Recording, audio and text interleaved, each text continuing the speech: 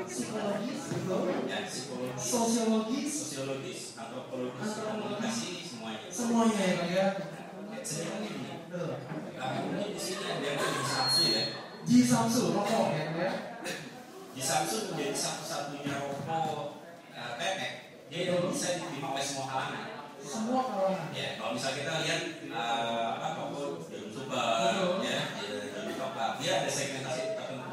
Tapi kenapa di Samsu dia bisa diterima semua kalangan? Rahasianya itu ada yang tahu itu dua Dua dua tiga empat. Kenapa ada dua tiga empat? Ternyata sederhana. Kalau orang Indonesia masuk ke sebuah acara duduknya di belakang atau di depan? Ke belakang dulu. Betul. Dari depan ke belakang apa? Nanti yang terakhir. Kenapa? Orang Indonesia itu tidak suka dengan angka satu. Sehingga dua tiga empat itu lebih enak buat orang Indonesia. Ternyata orang Indonesia adalah orang-orang yang cenderung reaktif. Dia follower sebetulnya. Betul. Kecenderungannya. Dia nggak orang dulu, dia yang aman. Betul. Orang ada dari dia masuk. Oke. Ngerasa nggak? Ngerasa ya? Tinggal cek aja yang duduk di sebelah sana siapa ada. Dan ini benar pun kosong yang banyak kan Ya. Oke. Nah, jadi itu masuk ke dalam uh, linguistik ya. Iya, dia kan kalau orang bilang ini alam bawah sadar bisa Alam bawah tidak. sadar. Saya kurang sepaham dengan alam ya. Kalau Betul. alam bawah sadar seolah-olah masuk jin gitu ya, pauka gitu. Tapi kita eh, bilang ini pikiran bawah sadar. Oke.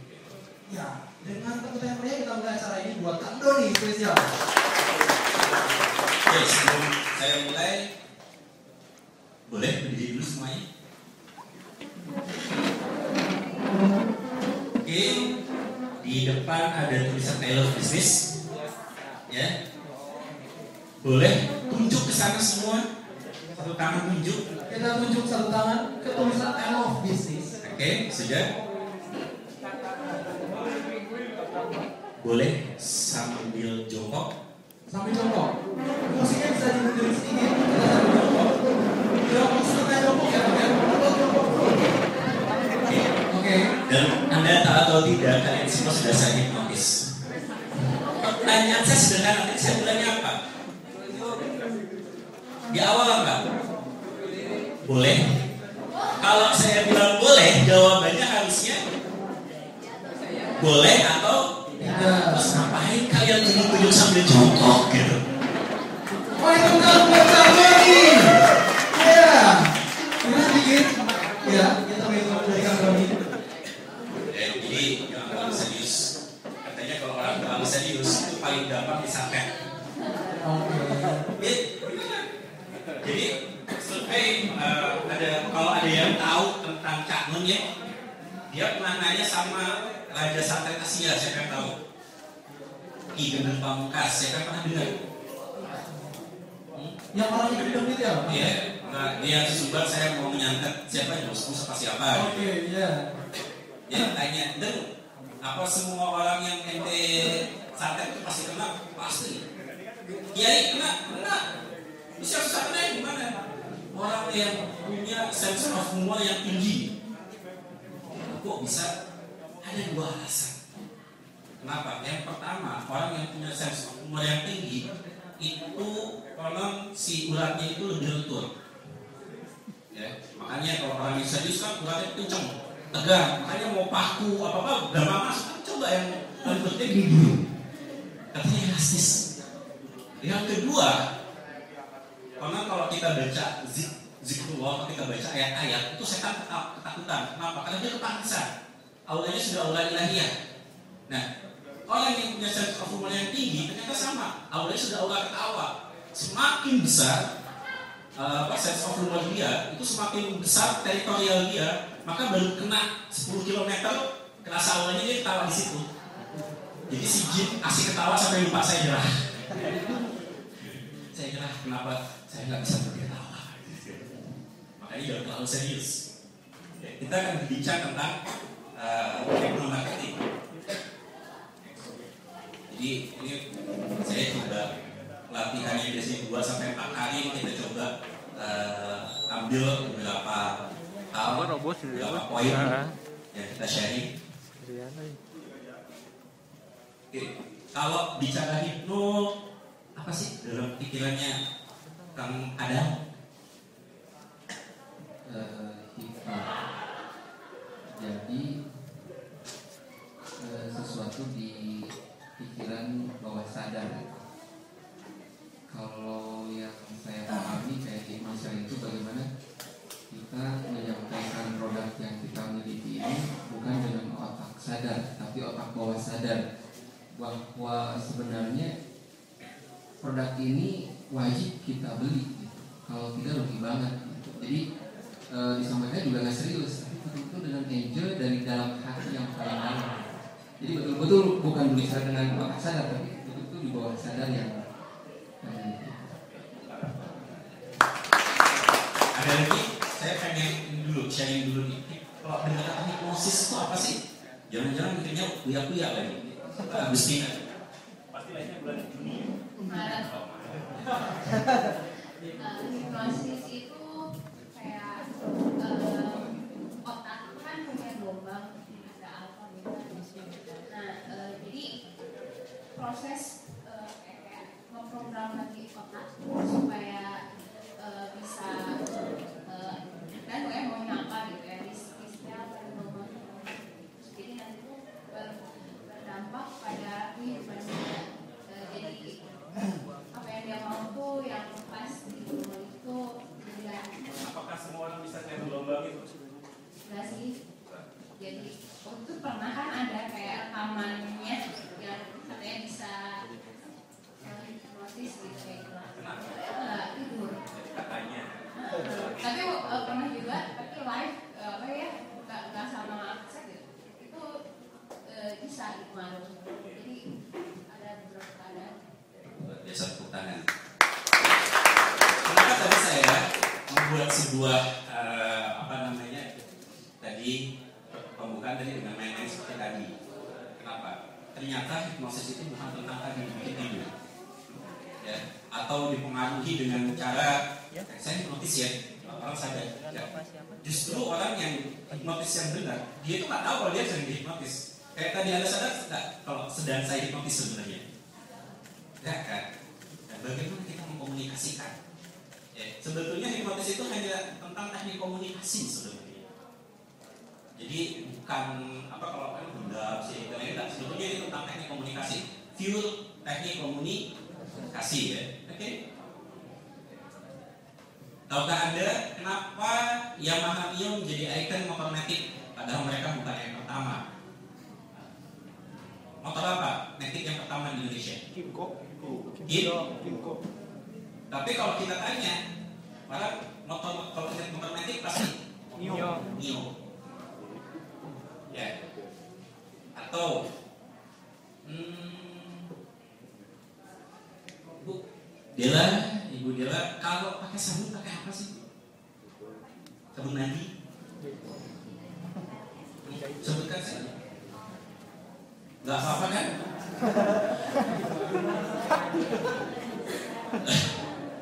Oke, kalau sebutin sesabun mandi, pakai sabun mandi yang kebayang apa? Biore, kenapa biore? Pakai itu. Oke, di sebelah ini, Nisa. Kalau ingat sabun mandi itu pak, ingatnya apa? Lex, kenapa Lex? Pakai itu. Kenapa pakai itu? Oh dibelinya itu. Ada yang pakai lifebuoy? Oke, kenapa pakai lifebuoy? Pembunuh kuman. Oke. Sabun lain pembunuh kuman nggak? Antiseptik juga nggak? Itu antiseptik juga. Tapi kenapa orang ingat lifebuoy dan sabun ingat lifebuoy, ingat Matic ingat Neo? Oke. Next. Kenapa tadi di Samsung nomor kreatif yang bisa masuk ke semua kalangan? Ya. Ternyata tadi ada teknik 2, 3, 4 itu angka itu ternyata luar biasa itu bisa mempengaruhi. Oke, next. Nah, kenapa Nokia kita tahu di awal-awal kalau HP itu pasti apa? Nokia. Ya. Padahal dari sisi teknologi yang lebih bagus mana? Motorola malah. Ya, Motorola. Terus mengapa Marlboro pokoknya cowok muda keren. Padahal segmentasi awal itu adalah perempuan loh. Iya. Ini Marlboro ini kecelakaan. Sama. Kayak Milo juga kecelakaan oke kita akan bahas Hipnomarketing itu bukan tentang apa yang kamu jual tapi tentang bagaimana kamu menjualnya. Jadi tentang kita bicara tentang bagaimana cara kita menjual bagaimana cara kita meyakinkan orang ya. Bukan tentang apa yang kita bicarakan tapi bagaimana cara kita membicarakannya. Sederhananya gini kalau saya cerita waktu saya ke Inggris saya cerita di sini atau saya rubah bahasanya. Saat saya di Inggris kesannya enak yang mana sih?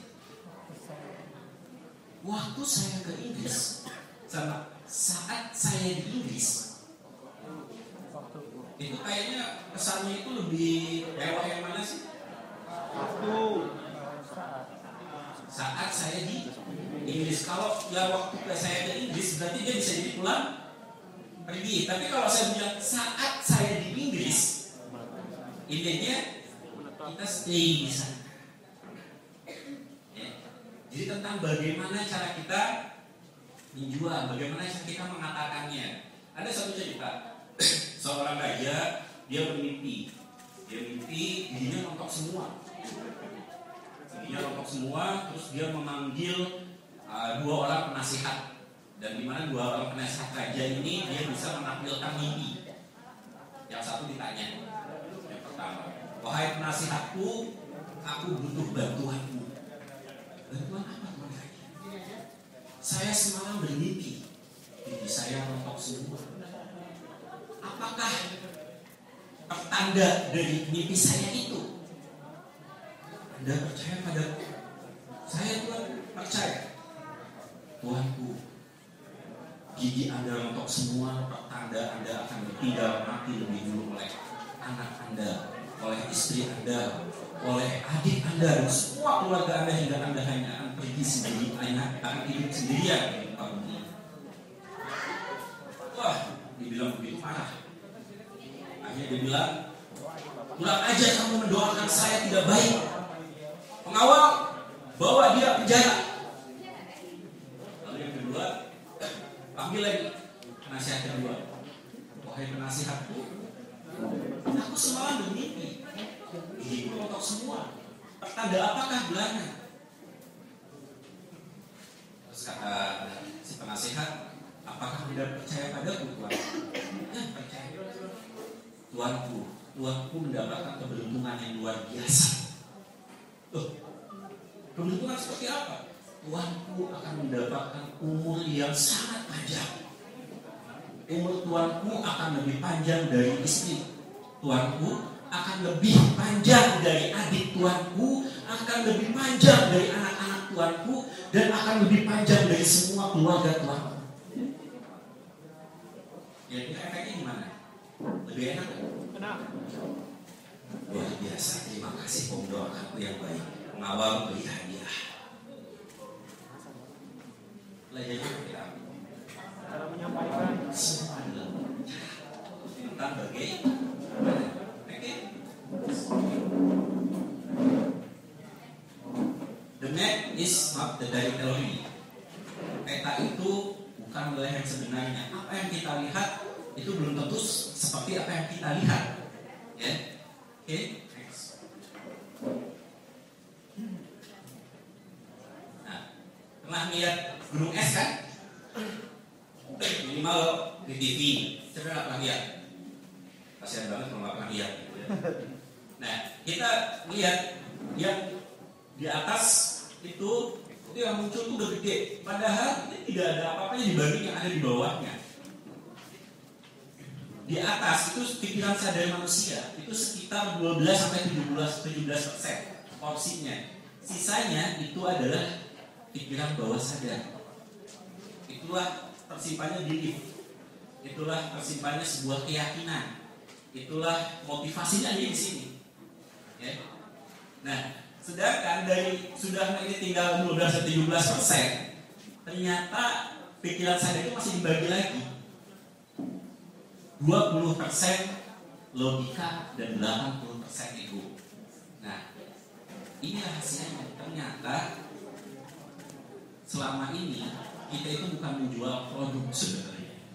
80 persen manusia membeli sesuatu bukan karena dia butuh, tapi karena egonya yang membutuhkannya. Yang jual pakaian siapa? Ada yang bisnis pakaian? Siapa namanya? D. D. Bisnis pakaian apa?